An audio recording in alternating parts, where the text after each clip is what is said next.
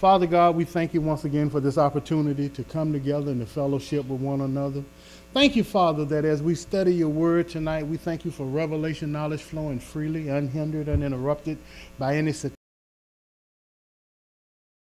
satanic or demonic spirit. We thank you, Father God, that we decrease and you increase. All of you and none of us. Anoint our ears to hear, our hearts to receive, and our spirit to contain your word. And Father, I thank you for thinking through my mind and speaking through my vocal cords all that you'd have me to say to these your sheep. And Father, we'll be ever so mindful to always give you the praise and always give you the glory.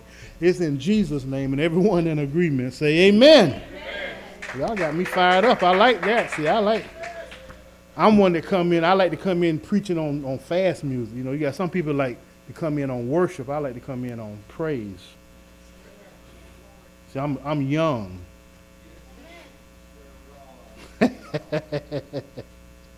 Everybody jumped on that bandwagon, huh?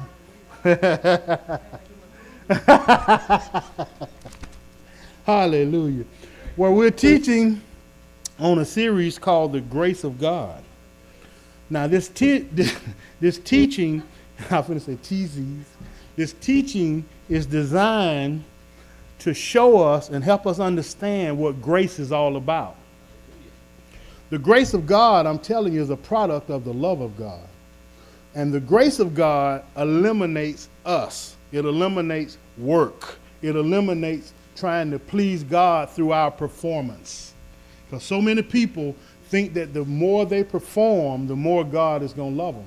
But I'm here to tell you that God already loves you as much as he will ever love you.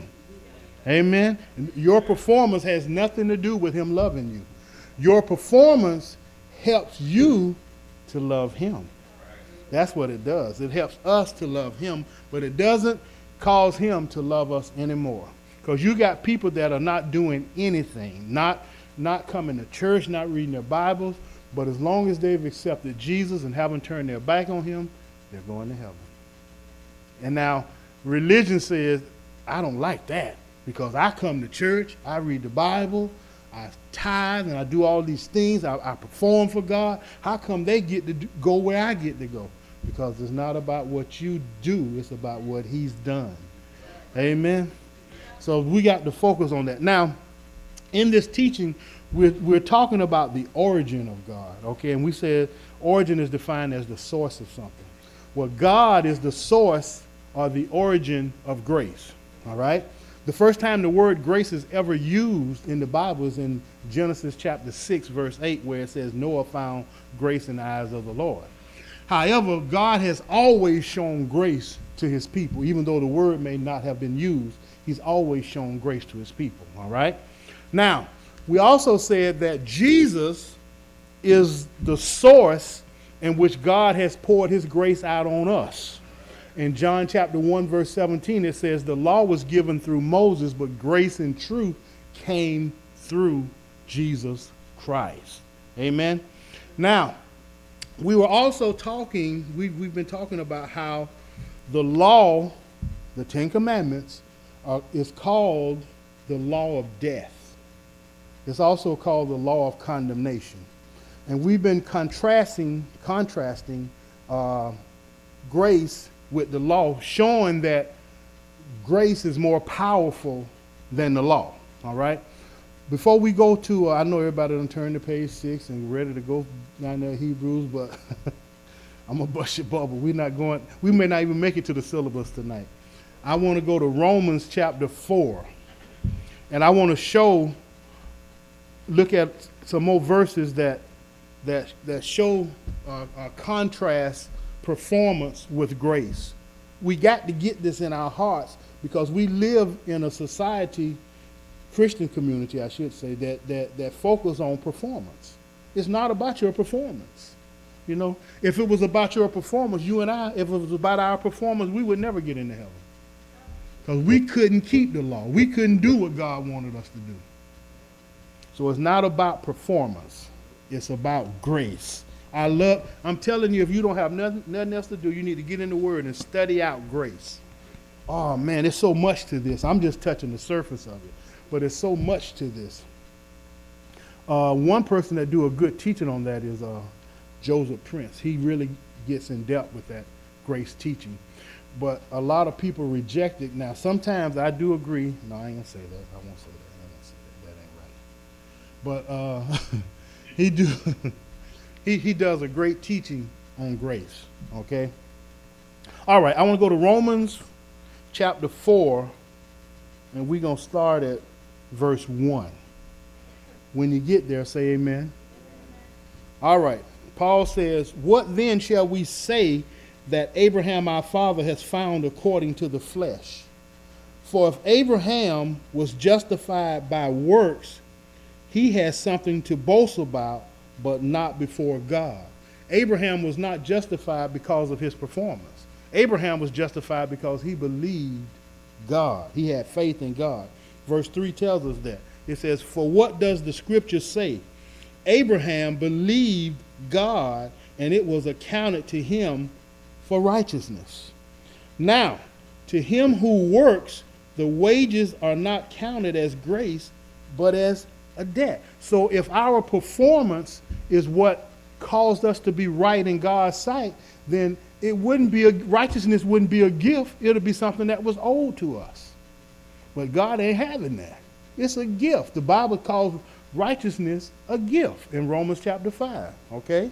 Y'all still with me? All right. Uh, verse 5 says, But to him who does not work, but believes on him who justifies the ungodly, his faith is accounted for righteousness. You see that? He said, when we believe in Jesus who justifies the ungodly. I don't know about you, but at one time I was a, a terrible ungodly person. But I've been justified. I've been made righteous. I've been put in right standing with God through faith. Uh, grace by faith. Okay? Not by my performance. Because I'm telling you, even now, I don't always make right decisions. I my performance is not always in line like it should be. I, I don't know about you, but sometimes people upset me. I get angry, and sometimes I express my anger. Not like I used to, but I, I still shouldn't express it the way that I do at times. All right? But thank God that it's not based on my performance, it's based on what Jesus has already done. Amen. Praise Jesus. Verse 6 says, just as David also describes the blessedness, the blessedness of the man to whom God imputes righteousness apart from works. The word imputes means to charge to your account. Okay? And David even talked about this. It's, it's in Psalm uh, 32 and verses 1 and 2 where David talks about how, matter of fact, verse 7 tells us, says, Blessed are those who lawless deeds are forgiven and whose sins are covered. Blessed is the man to whom the Lord shall, shall not impute sin, shall not charge sin to your account. Isn't that awesome? That's what we've been talking about. When you mess up, God ain't charging that sin to your account. Why? Because he already charged it to Jesus' account. Jesus already paid the penalty for it. You got to get this in you because what it does when you, once you get this revelation, Brother Chuck is teaching on divine health. If you feel guilty, if you have any guilt complex or in the condemnation, it'll be hard for you to receive what Brother Chuck is teaching on because you think you ain't worthy. You think, see, that's what condemnation says is that you are not worthy to receive the benefits of God. Well, you being worthy is not based on your performance. You being worthy is based on what Christ did and your faith in what Christ did. So even when you mess up, you still worthy of the benefits. Are you hearing what I'm saying? So, so when sickness attack your body and you done told somebody off over here, you can still receive healing for that when the sickness attack your body because what you did over there, you, God is not holding you guilty. Mm, he's not in, he's not charging the sin to your account. Now I'm not advocating practicing sin because, like I said, there are consequences. Okay, but God is not holding you guilty. God is not charging it to your account because he already charged it to Jesus' account. Jesus paid the price for your sin. Hallelujah. He paid it all. Verse 9 says, Does this blessedness then come upon the circumcised? When we talk about circumcised, it's talking about the law, people under the law. Does this bless, blessedness then come upon the circumcised only, or upon the uncircumcised also? For what we for what we say that for we say that faith was accounted to Abraham for righteousness. How then was it accounted? While he was circumcised or uncircumcised? Did, did, did, did he receive his righteousness after he got circumcised or before? Before. Because it had nothing to do with his performance. You know what circumcision did? It showed what had the, the righteousness that he received before he got circumcised. That's what baptism does for us. When we get water baptized, it shows outwardly what has happened inwardly. It does not save you. It's only a ceremony, but it and it does not save you. Like some people say you can't go to heaven unless you're baptized. Well, that thief that Jesus say you shall be with me in paradise, then when people say that you have to be baptized to go to heaven, they just call Jesus a liar. Because Jesus told that thief on the cross, You shall be with me. This day, you shall be with me in paradise. He didn't hit a lick of water. They, they, they didn't even spray no water on him. All right? When he didn't get wet no except for his blood, he didn't get wet, wet no other way. But Jesus said, This day you shall be with me in paradise. Water baptism is just like the circumcision that they got in the Old Testament. It showed that they were God's people. It showed people outwardly, people that, because people don't know what happened in your heart. But when you are baptized, you are showing them what happened. Water baptism, I encourage everybody to get baptized. Okay? Jesus said to get baptized, but it doesn't save you because it would be performance if baptized, if being baptized saved you. That still works. Amen. Praise Jesus. It says, How then was it accounted? What, verse 10, I'm reading again. While he was circumcised or uncircumcised, or uncircumcised. Not while circumcised, but while uncircumcised, like Willie said. And he received the sign of circumcision. Why? It was a seal of the righteousness of the faith which he had while uncircumcised, that he might be the father of those who believe though though they are uncircumcised that righteousness might be imputed to them also. Talking about us. Talking about talking about those that are that are not under the law. He says abraham became righteous through faith and then he was sealed with the, with the circumcision to show his righteousness but he became righteous by faith so that we also can be made righteous. We are showing us that we can be accepted without being uh, under the law, bound by the law. The law was never designed to save people. The law was only designed to show us that we needed a Savior. The law was designed to show us that we were sinning. The law was designed to show us that we were wrong. But it was never designed to save us because long as you live up under the law or try to live up under the law, you will always have condemnation because you can't keep the law. You will always feel guilty. And that's the that's how the enemy comes in. See, guilt and, and condemnation operates out of the soulish area. And that's where the enemy comes in that he affects you. He can make you, he can cause you to turn your back on God through condemnation and guilt.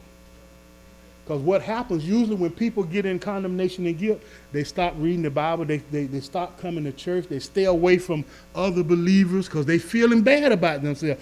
And then they get mad with other believers because they reading the Bible, going to church and doing all this, and then they start saying, oh, they think they all that. They mess up just like I do.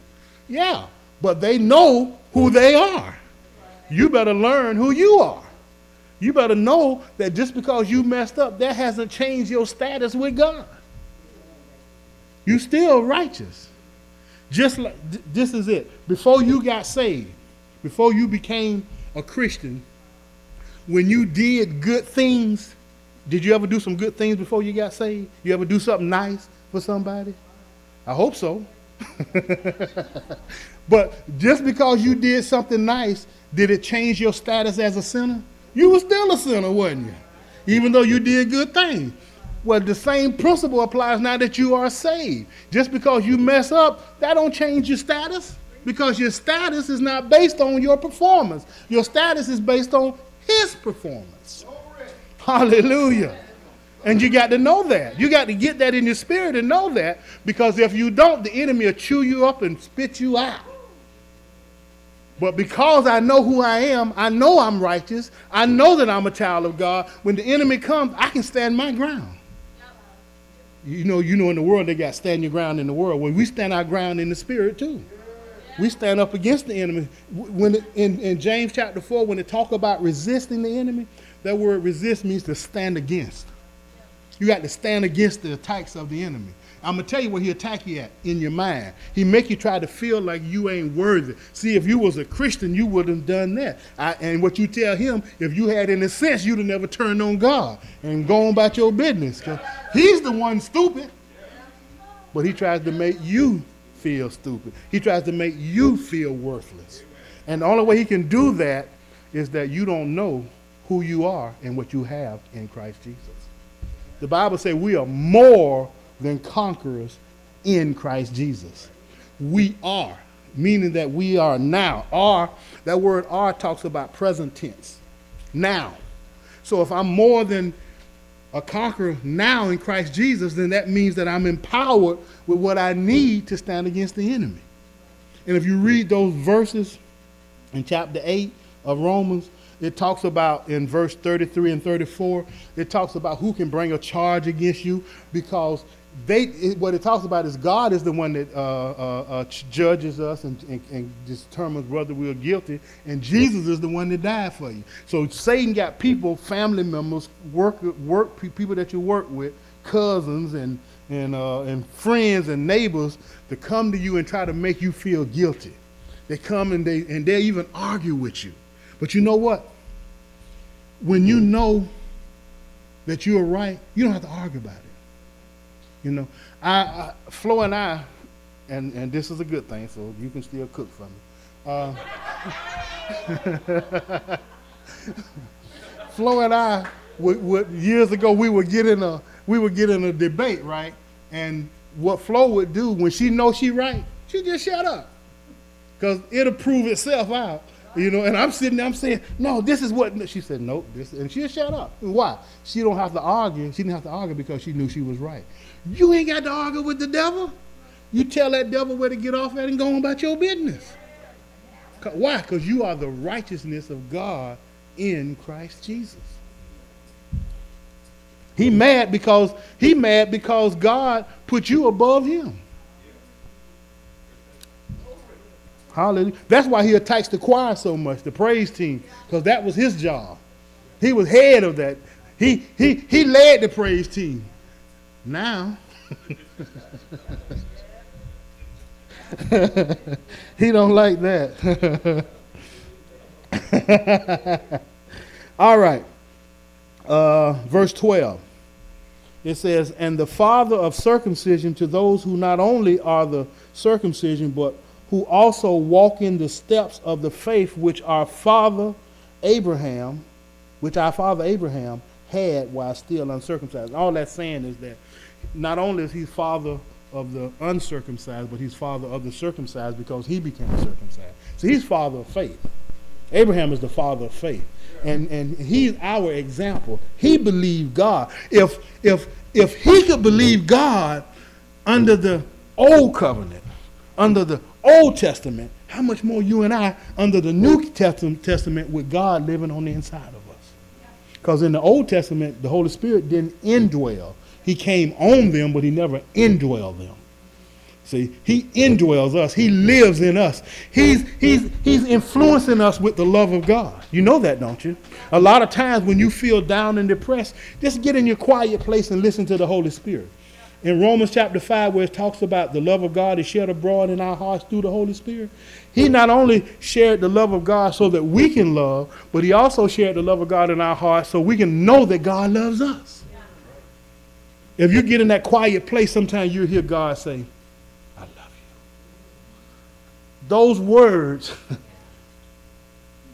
those words are more valuable than any dollar amount you can think of. I'm telling you. Those words coming from Father God in our spirit telling us, I love you. And a lot of times we miss that because our thoughts are clouded by guilt and condemnation. So we don't hear God speaking to us. God is constantly talking to us. The Holy Spirit ain't sitting there with a muzzle on his mouth on the inside of you. He's talking. But we cloud, we, our, our thoughts and minds are, have clouded out his voice. And the enemy uses that to keep you from communicating with God because he knows that when you get to a place where you're constantly in communication with God, constantly talking to God, he's going to direct you out of your situation. He's already provided the answer, but you need to know how to follow that path, and he'll direct you right out of that situation. John 33 and 3, he said, God said, when you call on me, I will answer you and show you great and mighty things that you don't know. See, the answer is on the inside of you, but your mind is clouded out by guilt and condemnation. Because, no, you're not perfect in the natural, but in the spirit, you are. In God's sight, you're perfect. And that's how you got to view yourself. You got to, you got to put your spirit in charge. See, our flesh is in charge, but you got to put your spirit in charge. You got to let you got to be led by your spirit man. Our flesh is not redeemed yet. Your, your thought life is not redeemed yet. But it's being redeemed through the Word of God. And the full redemption will come when Jesus comes. But your spirit man is completely redeemed. You are as perfect as you're going to be in your spirit man. You are just like Christ in your spirit man. That's who should be leading us. Not the thought life, because the thought life is flooded by the world we have to bring our mind, our thought life in subject, in submission, or subjection to our spirit. Amen. Y'all all right with that? Verse 13 says, For the promise that he would be the heir of the world was not to Abraham or to his seed, watch this, through the law. But how? Through the righteousness of faith. We are heirs of the world, not through the performance of keeping the law, but through our faith in Christ Jesus. See, if you are in Christ Jesus, you are righteous, and that means that you are heir. And, and now, now look what it said about him. It says, verse 13 says, heir of the world. We are in charge here, folks. But condemnation, guilt, will keep you from walking in your authority. Condemnation and guilt will keep you from being in charge. I, we read the scripture last week in Romans chapter 5, verse 17, where it says, We rule through grace and righteousness. We reign through grace and righteousness. We're in charge. Do you know? I think it's Psalm uh, 116, 15, I believe it is. It might be 115, 16. It says that the heavens belongs to the Lord, but the earth belongs to man. Adam was put in charge of the earth. He gave up that authority when he disobeyed God. But but Jesus, but Jesus came back and got our authority back. And he's given the authority back to us. We got we're to rule and reign in this earth. We're to take charge. You to, but you first got to take charge of your own life. How you going how you going to take charge of the house of God when your life all ain't, ain't, ain't, ain't you ain't even got in uh, charge of your life. When you letting the devil run all over you. If you got a ministry going on, he gonna run all over your ministry. Because if he's running all over you, then he's gonna run all over your ministry. And the only reason why he's running all over you is because you don't know who you are. You don't know what you have. You don't know what you can do. And the reason why you don't know what you can do and what you have and who you are is because you ain't taking the time to find out. So many people sit in the pews depending upon the pastor to read the Bible to them. Because they won't read it at home. They won't study at home. Now we got, and then I need to say this, we do have that group that read through their Bible in a year. Didn't learn nothing. Just read through the Bible in a year. Just to get a pat on the back. Nothing wrong with reading through the Bible. But nowhere in the Bible does it say that you have to read through it to a, through a year, in a year's time. It says study to show thyself approved, a workman rightly dividing the word of truth, 2 Timothy 2.15. We're to study the Bible. It, see, people read through the Bible so they can run to the Pastor Chuck. Pastor Chuck, you're right, I read through my Bible in a year. They looking for a pat on the back. walk out and get, get defeated every time. Because you can't learn like that. If you listen to Brother Chuck, he tell you he read through, but Brother Chuck study. Brother Chuck will break out about six or seven Bibles and let them interpret itself. 26 translation. You see what I'm saying? We do it for religious reasons and for a pat on the back. That's not helping you. I, I'm, this is, I'm talking about me. I'm in, uh, I'm reading the book of Acts right now. And I've been reading, I haven't got through in two years. I haven't, see, I haven't read the Bible through in a year. It take me a long time. The last time I read through the Bible took me five years. Because I don't just, I get a scripture and I'm like, I get the dictionary. I want to know. See, I'm, I'm, I'm dissecting these verses so I know. I want to know who I am. Because, see, you can just read the surface. You can just read the surface of things and not get who you are. But when you get in there and you study, we need to make this Bible as important to us as our jobs are. You got people when they go to work, they give you, uh, most jobs give you a, a, a guideline of what you, how to do their job and what you're supposed to do and all that, right?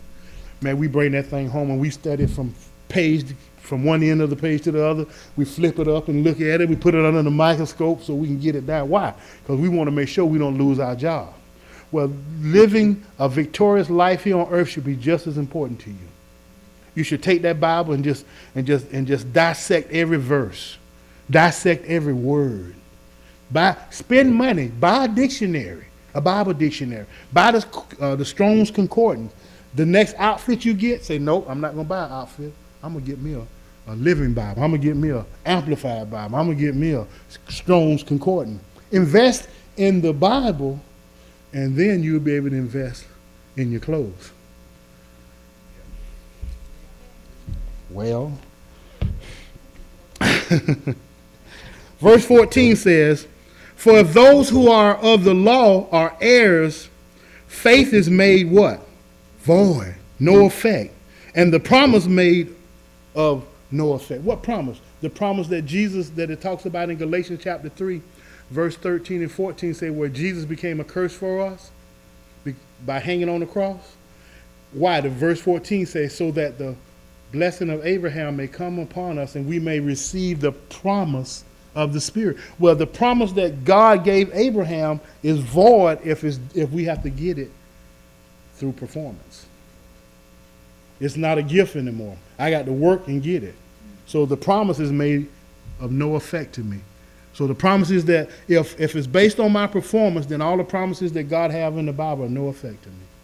Because all the promises of God is received through faith and patience.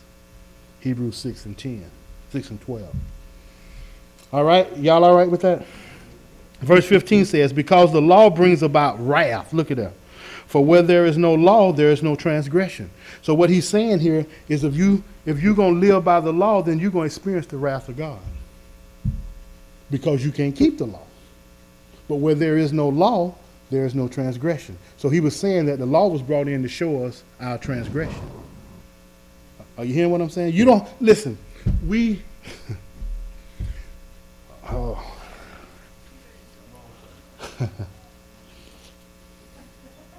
I'm trying to see if I should say this. we fighting